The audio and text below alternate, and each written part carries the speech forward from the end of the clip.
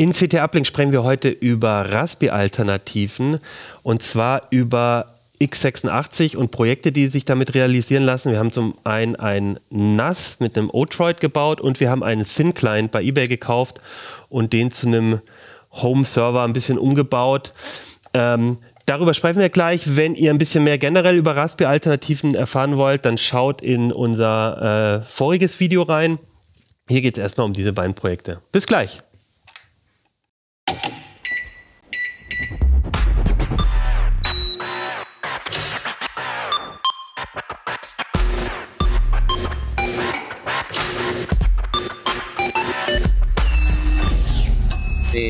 Uplink. Ja, lasst uns mal über die x86-Projekte mhm. reden. Das ist, ähm, da, hat, da bin ich jetzt vor allem Niklas, äh, mhm. bist du gefragt. Ihr habt ähm, im, im Heft zwei Projekte, die ähm, sich ganz speziell mit x86 ähm, auseinandergesetzt haben, nämlich den Thin Client, haben wir ja gerade besprochen auch schon, und ähm, den ähm, Otroid. Den Otroid. Mhm. Vielleicht fangen wir mit dem Otroid an. Ähm, was hast du da gemacht, Niklas? Genau, also äh, Christoph hat ihn ja schon im Test und hat da schon ähm, an der Plattform eigentlich ein großes äh, NAS-Potenzial erkannt. Ne? Eben mhm. dadurch, dass der halt zum Beispiel zwei ähm, 2,5 ähm, Gigabit äh, Netzwerkports hat. Ähm, genau, der hat ähm, SATA-Anschlüsse, auch anders zum Beispiel als der Raspi, ne, wo man dann mit USB-Platten mhm. und so arbeiten muss. Da kann ich ja auch noch mal aus meiner eigenen Leidensgeschichte erzählen. Also ich hatte früher auch mal so ein äh, ja, halbgares NAS, äh, das damals noch auf Raspberry 3 Basis, ne, der dann nur, mhm. wo auch die Netzwerkschnittstelle nur über USB angebunden war und das wollte man alles irgendwie nicht haben. Ne? Das hat keine Freude gemacht.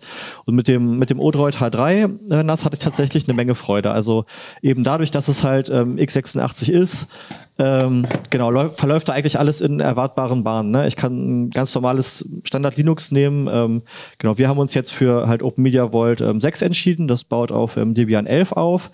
Und das ist halt eine, ich würde sagen, schon eher einsteigerfreundliche NAS-Distribution. Also da kann man eigentlich nach der Installation fast alles über eine Web-Oberfläche regeln. Ähm, genau, wenn man dann ein RAID oder Dateisysteme, ähm, freigegebene Ordner und so weiter einrichtet. Ähm, und was auch das Schöne an dem, an dem das ist. Ganz kurz nur, mhm. das heißt, ich ähm, klingt den bei mir im, im Netz dann ein und dann mhm. kann ich über den über meinen normalen Rechner zum Beispiel auf die Weboberfläche genau. gehen und dort alles einrichten und wie bei äh, einem wie bei einem kommerziellen Netz eigentlich. Genau, ja, so stelle ich mir vor beim QNAP oder sonst was. Ja. Dann, genau. Genau. genau. Mhm. Und ähm, was bei dem zum Beispiel halt auch fein ist, ist, dass der halt, ähm, dass man da zum Beispiel auch äh, bis zu 64 Gigabyte ähm, RAM äh, reinbekommt. Also das taugt dann auch für wirklich anspruchsvolle Home-Server-Anwendungen. Ähm, also da sind nach oben hin, hat man da noch. Was könnte das sein, wo ich so viel brauche? Also so viel da, das, das wäre dann schon, wenn man wirklich mehrere virtuelle Maschinen mhm. halt äh, stemmen will. Da wäre jetzt dann aber Open Media Vault vielleicht auch gar nicht das Betriebssystem der okay. Wahl, sondern wirklich eher irgendwas wie Proxmox zum Beispiel oder auch Tuner Scale, ähm, genau, wo man virtuelle Maschinen einbinden kann. Mhm. Aber es würde mit der Plattform auf jeden Fall gehen. Es würde mit der Plattform gehen. Der Fokus wirklich so dieses, wie man sich vorstellt, man hat zu Hause ein, ein, ein Mediencenter mhm. und noch ein paar zusätzliche. Genau. Im da Grunde kann man wirklich sagen, alles, was auf diesen normalen NES, ja. Mhm. das Backup. ist tatsächlich die Technik dieser NES im Wesentlichen. Mhm. Also genau. die haben meistens auch so ein Celeron und dann haben die halt üblicherweise ähm, natürlich zum Beispiel vier Netzwerk, ähm, SATA-Ports und auch so Schnellwechseleinschübe. Das hast du hier jetzt eben nicht. Genau, das funktioniert nicht. Dieses Gehäuse ist schon so ein bisschen so ein Hornissen. Es ist ein, es ist ein bisschen, ne? es ist ein bisschen bastelig auf jeden so vor Fall. Sich ne? hin, also weil die Platten sind fest verschraubt. Genau, richtig. Also, also man kauft das quasi auch. Also du hast jetzt nicht eine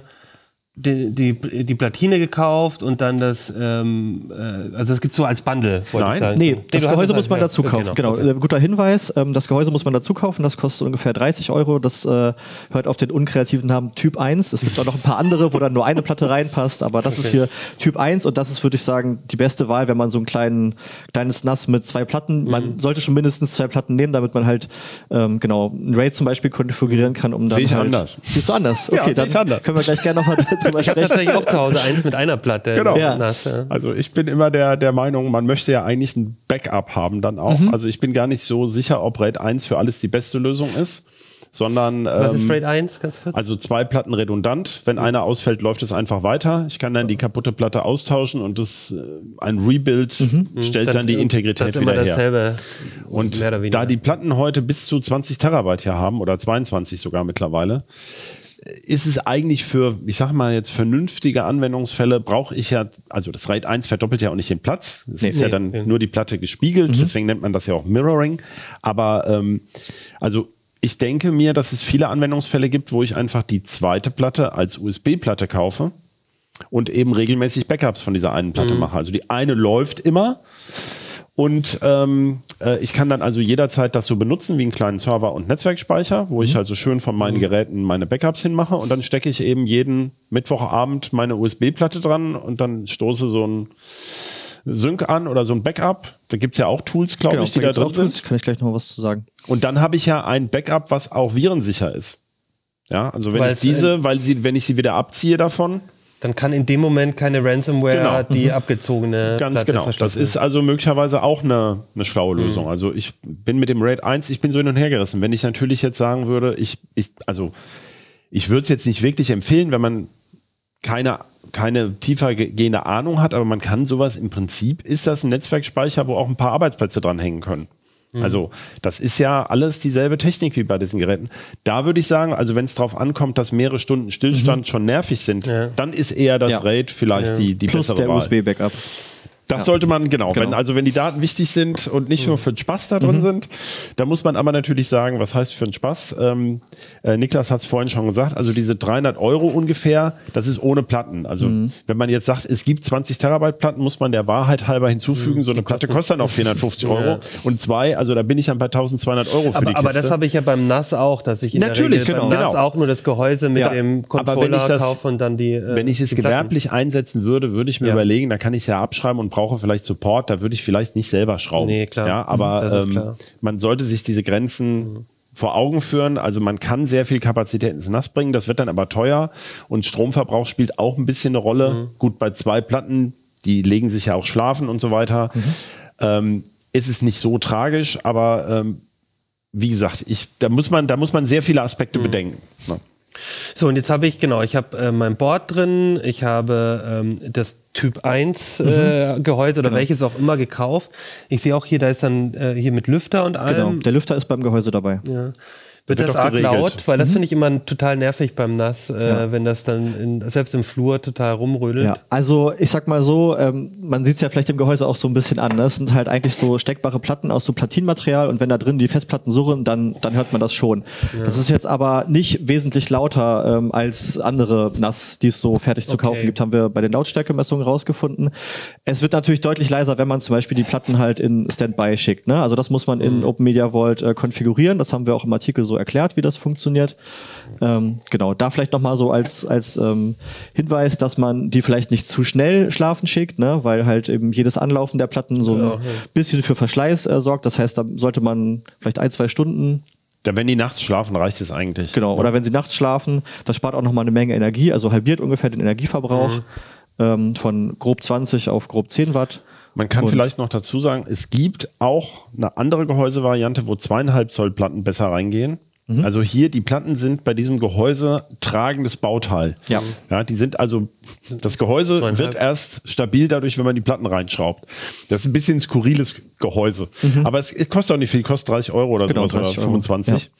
Und ähm, es gibt auch eine Variante, da passen zweieinhalb Zoll eben zum Beispiel SSDs rein. Mhm. Also wenn es jetzt geräuschlos sein soll und Könnte man den höheren Preis für die SSDs äh, akzeptiert, kann man das natürlich auch so machen. Dann brauche ich den Lüfter auch nicht unbedingt. Mhm. Es ist aber so, jetzt sind wir bei den Nachteilen der x86-Technik. Von nichts kommt nichts. Ne? Also diese Rechenleistung, der, der, braucht nicht viel Strom, aber unter Volllast braucht der Prozessor schon ein bisschen Kühlung. Da ist ein großer passiver mhm. Kühlkörper drauf und dieser Lüfter versorgt den mit. Also wenn ich SSDs drin hätte, bräuchte ich den Lüfter für die Platten nicht. Aber dann ist also so, ähm, wie soll man sagen, wenn ich dann wirklich ganz viele virtuelle Maschinen da hätte, die jetzt auch richtig was tun, dann wird es da vielleicht ein bisschen zu kuschelig drin. Mhm. Ja, das ist schon so ein bisschen. Was ich aber durchaus auch bei, bei neuen Raspi-Modellen ähm, durchaus auch das Thema habe. Dass ich ja, aber dann ist das Gehäuse noch viel kleiner. Ja, also in so einem großen ja. Gehäuse ja, käme der Raspi schon. Ja. Klar. Und, das, wenn du sagst 20 Watt, das ist ja schon auch eine eine, schon eine Hausnummer. Genau, für den Prozessor alleine. Also mhm. wenn die Platten wirklich ja. laufen und es gibt ja auch große Unterschiede bei den Platten. Also ja. äh, Lutz mhm. hatte ja vor kurzem mal so eine Gegenüberstellung von NES und Serverplatten und diese 7200er Platten, ähm, die äh, kann man durchaus nehmen. aber die brauchen dann in der, ähm, also bei Zugriffen oder sowas schon mal in der Größenordnung von 8, 9, 10 Watt. Also wenn ich dann oben die 7, 8 Watt für den, ich sage jetzt oben, weil der hier oben drin sitzt, der, der, der Prozessor, also für das Board habe, plus zwei Platten, also dann bin ich schon, es kann schon in der Spitze 30 Watt sein, da brauche ich schon mal den Lüfter. Ne? Das kann ich nicht mehr lüfterlos äh, nee, einfach irgendwo in die Ecke klemmen. Okay. Gut, und jetzt habe ich das aufgebaut. Ich habe mein, mhm. ähm, dann installiere ich da Open Media Vault drauf. Das, das ist, ist ja relativ unkompliziert. Das ich ist relativ das unkompliziert, genau. Da gibt es so einen, ja, ähm, einen Assistenten, würde ich jetzt das mal nennen, ähm, der einen da ähm, durch die Installation mhm. führt. Und ähm, das haben wir im Artikel auch nochmal erklärt. Das ist jetzt aber alles ähm, genau kein, kein Hexenwerk. Muss ich da dann einmal irgendwie eine Tastatur und alles anschließen oder kann ich das Das sollte man mindestens machen, machen um einmal ein Firmware-Upgrade äh, vorzunehmen, okay. um einmal das BIOS zu aktualisieren. Und zwar Genau, hatten wir dann nämlich mit dem, mit dem es ausgeliefert wurde, ein paar Probleme. Da hat der Linux-Kernel uns äh, PCI-Bus-Error äh, geliefert ähm, im Sekundentakt und das ist aber zum Beispiel mit einem mit der ähm, mit dem aktuellen BIOS dann mhm. verschwunden. Ähm, dafür muss man einmal ähm, den ähm, genau Monitor, Tastatur und so mhm. weiter anschließen. Später ähm, hatten wir es dann eigentlich nur ähm, am Netzwerk hängen, mhm. am Netzwerk und äh, Netzteil. Das ist vielleicht nochmal ein wichtiger Hinweis. Ähm, wir hatten nämlich äh, während wir das ähm, ausprobiert haben, während unseres Tests, ähm, ja hatten wir so ein bisschen eine Behelfslösung von dem Netzteil, würde ich es jetzt mal nennen, weil das ähm, Originalhersteller-Netzteil, mhm. das war nicht lieferbar und da haben wir eins genommen, was so ganz leicht aus außerhalb der Spezifikation lag, aber trotzdem ähm, gut funktioniert hat, also stabil lief. Aber der Stecker hat nicht so ganz gepasst. Also okay. der hat das, der, der Odroid, der hatte so ein bisschen exotische die haben eine, Steckermaße. Die haben diese blöden hier, diesen, diesen 5 Millimeter, ähm, genau.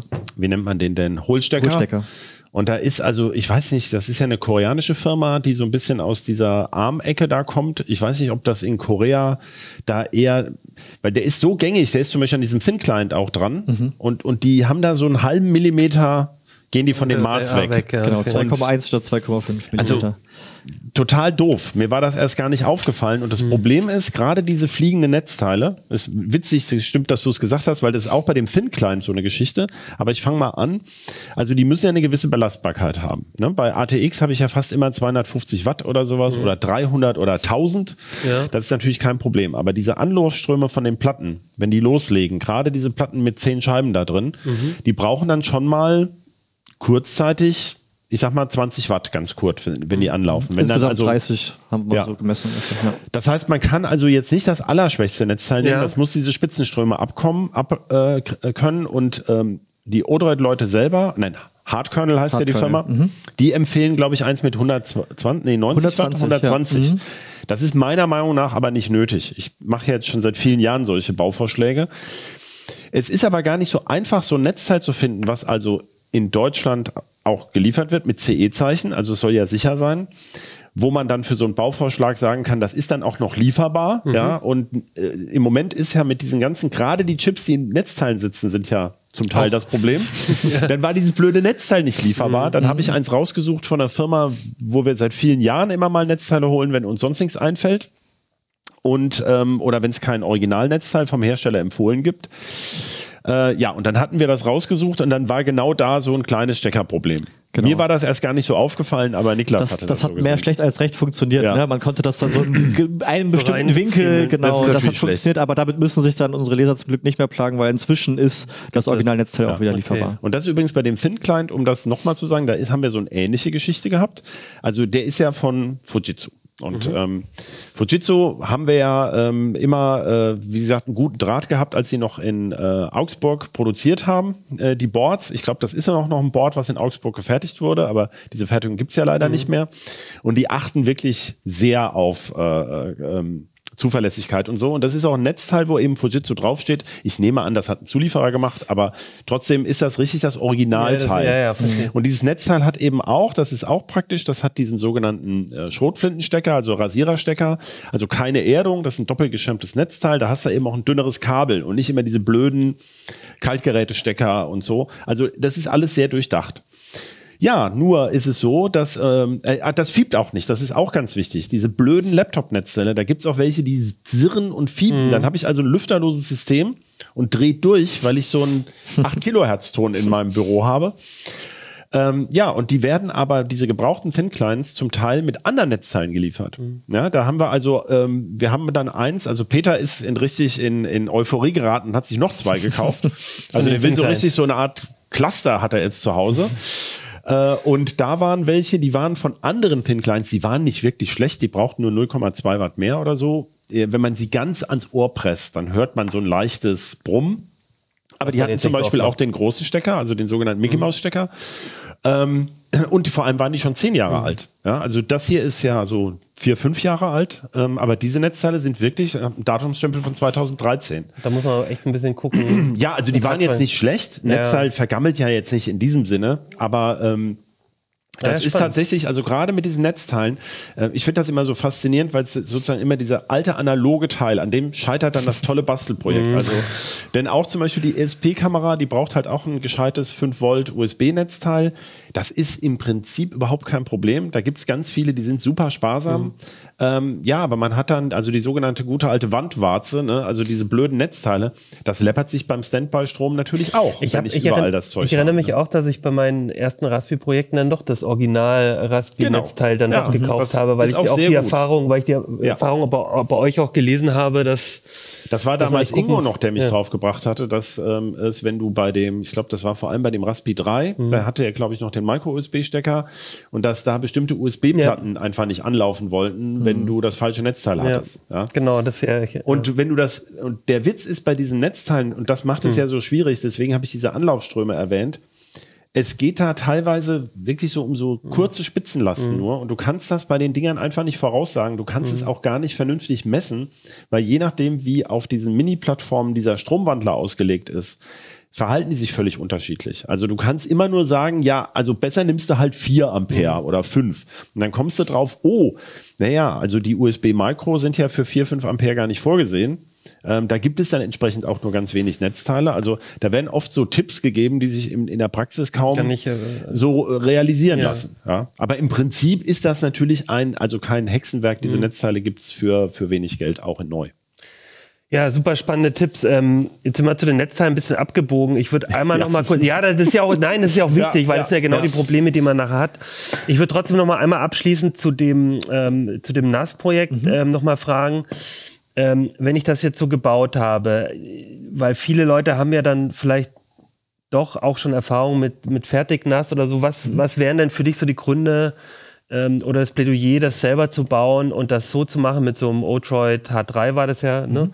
Ähm, statt jetzt sich einfach irgendwie so ein Synology QNAP NAS zu kaufen. Ist es vor allem der Basteltrieb oder gibt es auch andere Gründe? Der Basteltrieb spielt bestimmt eine Rolle, spielt bei mir zumindest eine mhm. Rolle. Ähm, ich würde aber sagen, der große Vorteil ist, dass man einfach mit der Plattform nochmal deutlich flexibler ist. Ne? Mhm. Also gerade wenn es dann daran geht, vielleicht noch irgendwelche Serveranwendungen mhm. oder so ähm, da drauf äh, laufen zu lassen, dann hat man bei diesen ähm, Betriebssystemen, die zum Beispiel mit einem Synology NAS oder so mhm. ausgeliefert werden, oft das Problem, dass auch da diese Anwendungen oft mit äh, Containern, mit Docker mhm. äh, realisiert werden und die aber diese Docker-Umgebung oft so ein bisschen verbasteln, ne? dass die mhm. da teilweise mit Container-Konventionen brechen und so. Und da hat man zum Beispiel hier bei Open Media Vault, die machen es einem da ziemlich einfach. Da kann man zum Beispiel ein ähm, Plugin installieren, das heißt Open Media Vault Extras. Und dann kann man wirklich in der ähm, Web-Oberfläche sich da eine, ähm, genau, Docker zusammenklicken sozusagen. Da, die liefern auch noch eine, oder die äh, bieten an, noch ähm, so eine grafische Containerverwaltung, ähm, Portainer zu installieren, die ich dann auch wieder in der mhm. Web-Oberfläche habe. Und ab da ist es dann so ein bisschen zusammenklicken, was ich eigentlich darauf haben möchte. Ne? Also ich habe zum Beispiel auch mal ähm, dann ähm, das ähm, Pi-hole einmal kurz ausprobiert, ähm, so ein Medienserver, äh, Open-Source-Lösung Jellyfin, mhm. Alternative zu diesem Plex-Server, den vielleicht auch einige kennen. Ja. Und ähm, genau sowas, da bin ich dann relativ äh, schnell dran mhm. und ähm, genau, kann mich da eigentlich austoben. Ne? Das Betriebssystem, was da drunter liegt, das ist halt, baut auf Debian auf und ich kann dann da machen, was ich möchte. Ich mhm. bin weniger eingesperrt einfach, kann man und, so sagen. Und es gibt unheimlich viel Material. Also wir haben auch schon öfters über Open Media Vault und mhm. über verschiedene also Jellyfin und so auch schon mal drüber mhm. geschrieben und man findet im Netz einfach unheimlich viel Material, um damit zu arbeiten. Ähm, wie ist es denn so mit Updates? Ich habe auch so mal das Gefühl, bei den, wenn ich bei den ähm, Standard-NAS-Anbietern bin, dann muss ich bin ich halt auch auf Gedeih und Verderb darauf angewiesen, dass diese ihre Software gut pflegen. Das ist ja vielleicht bei Open Media also Vault, geht das schneller oder? Die sind nach meiner Erfahrung relativ gut, die okay. großen. Also man muss sagen, Synology hat in Deutschland halt einen riesen Marktanteil. Mhm. Und dann kommt QNAP und dann kommt lange nix und dann viele andere. Ähm, und so ungefähr ist auch ähm, die, also diese, diese beiden großen machen ja auch sehr viele Business NAS. Mhm. Und haben eben die schlaue Idee gehabt, dass sie ja diese Standard-Firmware machen, die im Prinzip die muss natürlich angepasst mhm. sein auf die Geräte, aber die können diesen Kern auch relativ rasch äh. Updates für liefern. Also die haben in den letzten Jahren das relativ gut gemacht, aber es tauchen auch immer wieder Lücken auf. Ähm, ich wollte auf einen anderen Punkt raus, natürlich Langzeitsupport. Mhm. Also so nach fünf, sechs Jahren hört das dann auch mal auf bei den kommerziellen mhm. Lösungen. Das ist auch durchaus, sagen wir mal, für einen gewerblichen Anwender sinnvoll. Also ich würde jetzt auch nach fünf Jahren mal drüber nachdenken, äh, wie lange die Platten eigentlich ja, noch halten und so. Äh, und hier, das kann ich ja im Prinzip, das ist ja zum Beispiel ein großer Vorteil von x86. Das ähm, ist beim Raspi noch eingeschränkt möglich, äh, bei den anderen Plattformen so gut wie gar nicht. Ich kann ja auf andere x86 Hardware umziehen. Mhm. Also Peter hat es schön gezeigt bei dieser Thin-Client Proxmox-Geschichte. Der hat ähm, der macht ja relativ viel, auch mit so Heimserver, hat diesen, mhm. diesen ähm, HPE Microserver. Ja, ich weiß gar nicht, mal. welche, ja. welche Version mhm. er im Moment ja. hatte. Und er hat einige dieser, dieser ähm, VMs, die er da laufen hat mhm. unter Proxmox, die hat er einfach von dem anderen darüber gezogen. Und das ist zum Beispiel eine sehr spannende Sache, wenn man mhm. jetzt sagt, also ich möchte so ein NAS haben, ich möchte das selber im Griff haben, ich möchte das mhm. mit Open Source Software haben. Genau. Also man kann, man kriegt natürlich diesen Odroid in fünf Jahren nicht mehr genau so. Mhm. Also da, da lege ich meine Hand für ins Feuer, weil den Zweier, den wir hier ja immer nackt haben, den gibt es natürlich schon lange nicht mehr. Das ist mhm. der Vorgänger von dem. Ähm, aber natürlich würde das, äh, der, wenn der x86 Unterbau mhm. läuft, kannst du das in diesen Container und sowas darüber ziehen. Ja. ja. Aber dafür muss ich natürlich ein bisschen auch mir Gedanken darum machen ja. und das mhm. auch wollen. Also wenn ich dann ähm, wenn ich da keinen Bock drauf habe, ist natürlich so eine kommerzielle Lösung eben besser. Hm. Ja, dann schieben wir doch jetzt langsam den die O-Trade-Leute beiseite und reden noch mal kurz über den, über den Thin, Thin Client. Client ja. Da könnte ich, also könnte ich jetzt auch äh, Niklas seine Lösung ähm, da umziehen auf so einen Thin Client? Ja, aber dann hättest du kein Nest mehr. Genau. Warum? Weil kein Nest dran ist. Beschränkten SSD-Speicher. Genau. Okay. Das heißt, hier ist das Thema, du hast einen Thin Client, da geht es ja genau darum, äh, alles sehr möglichst kompakt, vielleicht sogar ähm, alles möglichst auf eine Platine aufgelötet, alles äh, in dem Beispiel jetzt in so einem kleinen Zigarrenschatulle Größe oder noch kleiner. Wenn wir mal hier ein bisschen ähm, schrauben, dann machen wir den mal auf. Und und da habe ich aber das Problem, das ist dann für NAS gar nicht so gut geeignet, weil da kann ich jetzt nicht per SATA 12. Genau, das äh, ist ganz trivial. Es gibt ja. keinen SATA. Punkt. Ja. Aber warum brauche ich denn überhaupt so einen Thin Client? Dann brauche ich den noch gar nicht. Na doch, es gibt auch genug Serverdienste, wie zum Beispiel ähm, so ein Home-Server-Basis, also was ich beim Raspi machen würde, ohne also, Platten oder also, ohne mit so mäßig viel Speicherplatz. Also ich meine, also man muss zum natürlich Beispiel sagen, so ein, so ein, Filter oder so ein genau. mein, mein eigener Mail-Client genau. zu Hause oder sowas. Klar, ja. ich kann auch so als ähm, äh, Media Center-Geschichte, wenn mhm. ich da was drauf tue, also für ein Terabyte das ist ja auch schon nicht nichts. Ja? ja, Also ein bisschen was ist das ja schon.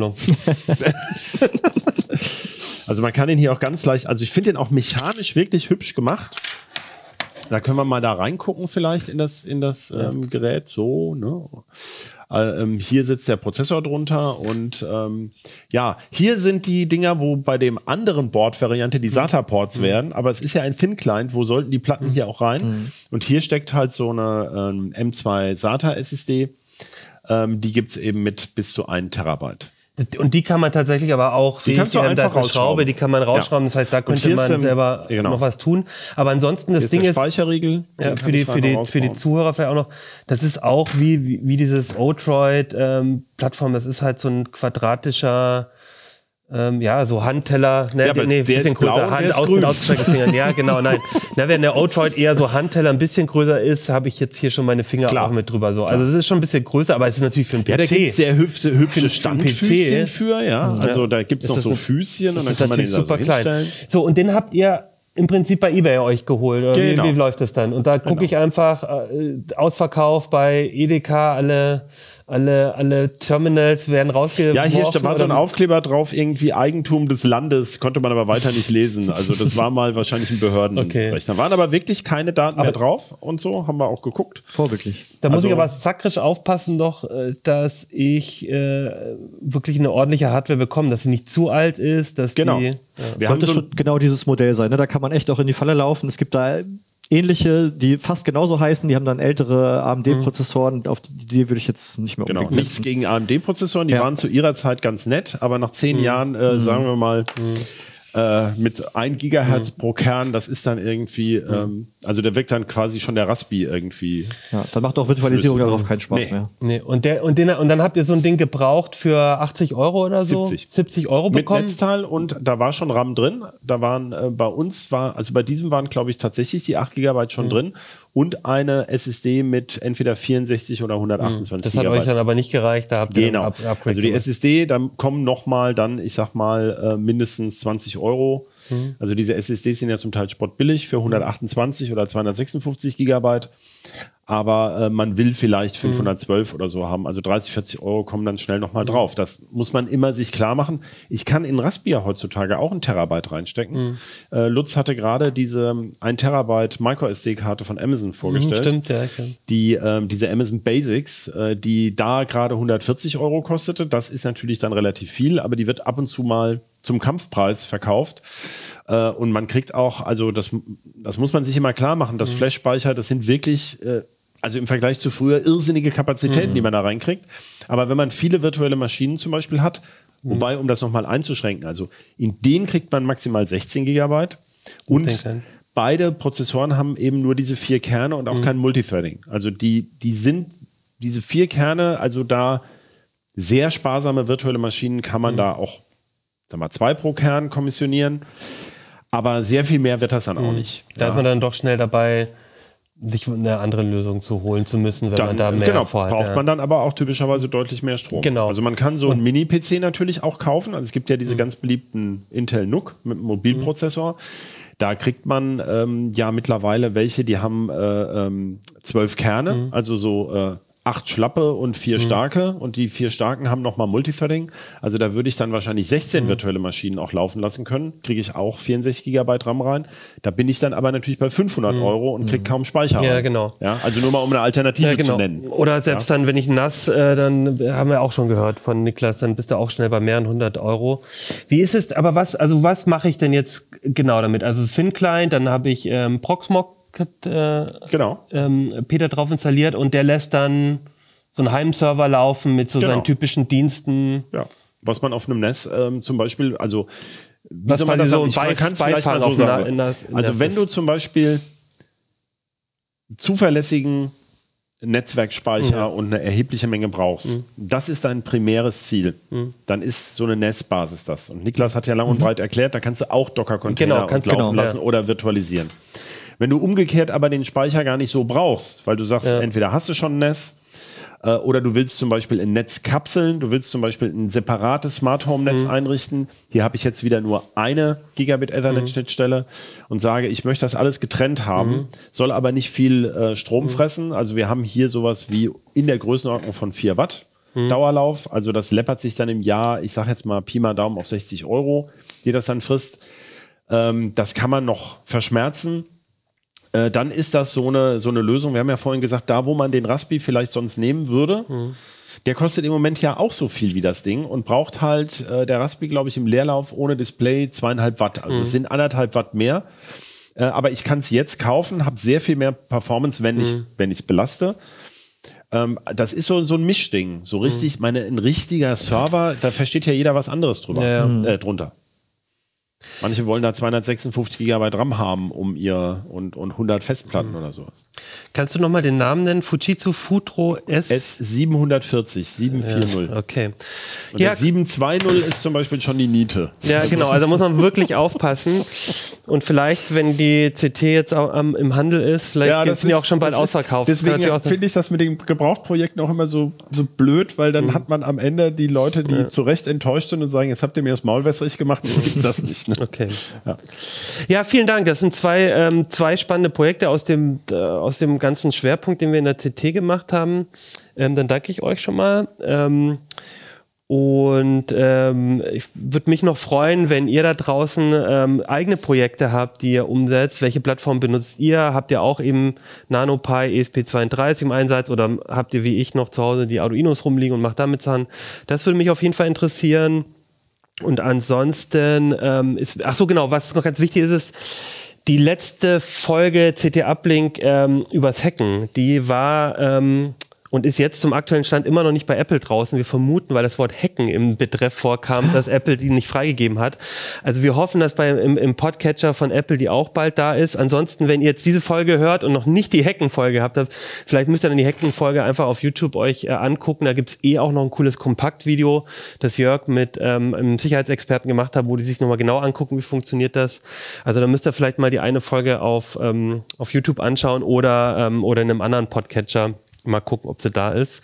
Das Problem hatten wir. Und ansonsten wollte ich noch sagen, in der aktuellen CT, wo dieser Schwerpunkt drin war, CT6 2023, ähm, sind auch spannende andere Artikel. Es gibt den CT Keyfinder, mit dem ihr Installationsschlüssel von eurem Windows auslesen könnt, falls ihr mal mit eurem Windows umzieht. Ähm, bei uns komponiert äh, die KI die Musik inzwischen. Da hat äh, ähm, Kollege Hartmut Gieselmann ähm, Tools ausprobiert. Äh, wir haben Apple Self-Repair ausprobiert. Das fand äh, Christoph sehr erhellend und auch ein bisschen enttäuschend, glaube ich. Ne? Dass ja. das, ähm, wenn du dir so ein iPhone selber reparierst, kriegst du genau. irgendwie massenweise also Werkzeug nach Hause. ganz tolle Selbstreparatur und äh, hier Right to Repair und mhm. sowas. Und dann machen wir es so kompliziert und teuer wie irgendwie. Ja, teurer, als wenn man es irgendwo einschickt. Ja. Aber trotzdem sehr spannender Bericht. Und wir haben einen Mini-PC-Bauvorschlag, der auch aller Voraussicht nach ähm, im, im, nächsten CD-Uplink-Thema sein wird. Also da guckt auf jeden Fall nächste Woche wieder rein. Und dann würde ich sagen, ähm, schreibt uns an uplink.ct.de eure ba äh, Projekte, kommentiert auf YouTube äh, und auf Heise Online. Und dann würde ich sagen, bis nächste Woche. Tschüss. Ciao. Ciao.